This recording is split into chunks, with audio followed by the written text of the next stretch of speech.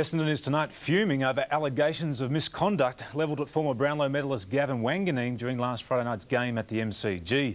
The AFL's investigation into the incident, which left Richmond's Michael Gale concussed, will be completed tomorrow, but the Bombers say they have no case to answer after obtaining fresh video evidence.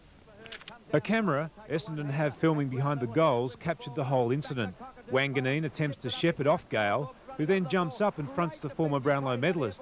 They appear to push one another before Gale collapses in a heap. Wanganeen then becomes entangled with the Tigers' Matthew Rogers. The Bombers will also tell Martin Armard that the graze on Gale's forehead was caused by the players accidentally standing on his head while grappling. Essendon General Manager Roger Hampson, who viewed the tape today with football manager Danny Corcoran, is confident their man won't be charged.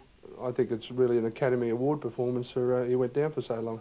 The videotape clearly shows that there's no substance whatsoever in the uh, uh, the incident. Meanwhile, Mr Armard has already met with Richmond's Michael Gale, Chris Bond and Matthew Rogers this afternoon at the Punt Road Oval. Have you learned anything that you didn't already know? Oh, well, uh, obviously I have, yeah. I've, I've uh, got the uh, response from uh, Richmond, and, and uh, now it's up to Essendon to see what they say. He will view the Essendon video and speak to Gavin Wanganeen later tonight before reporting back to the AFL tomorrow.